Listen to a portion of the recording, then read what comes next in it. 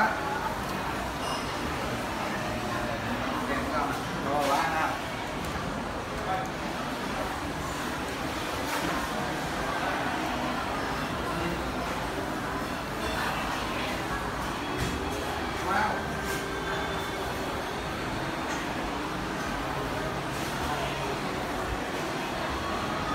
lớn anh cũng chưa phải ra những chưa kèm nha.